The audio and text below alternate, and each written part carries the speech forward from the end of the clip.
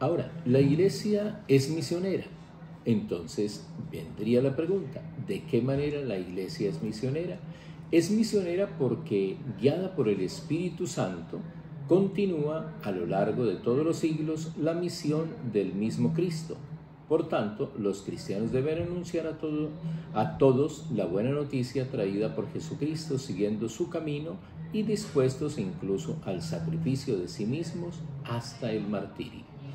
Por eso no puede eh, darse un eh, cristiano que no se sienta llamado a evangelizar.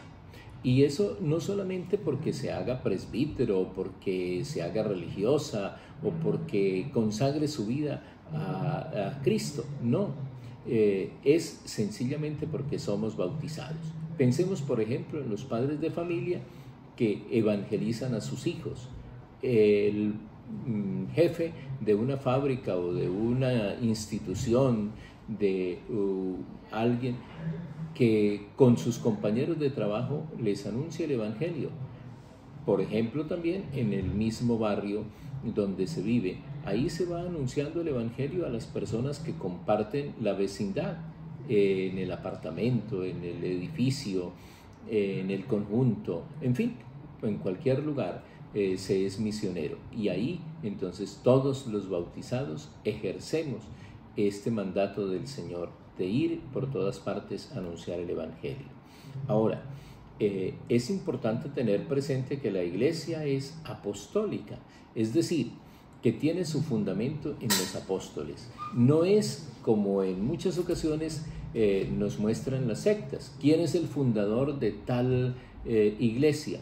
Ah, fulano de tal, en tal año y en tal lugar. En la iglesia católica el fundador es Cristo, es la única iglesia fundada por él, aunque en muchas ocasiones a los hermanos separados les duela reconocerlo, pero esa es la realidad. Ahora bien, la iglesia eh, es la autora de la Sagrada Escritura en el sentido de que la promulga, en el sentido de que dice esta es la Biblia, y los protestantes la han tomado eh, siendo pues la eh, el texto de que la iglesia ha definido como, como tal. Aunque le hayan quitado algunos libros, pero es exactamente la que el Papa San Damaso proclamó.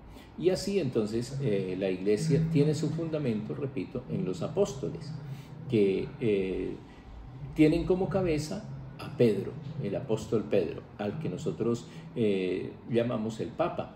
Y así los demás le deben obediencia y respeto a quien los confirma en la fe.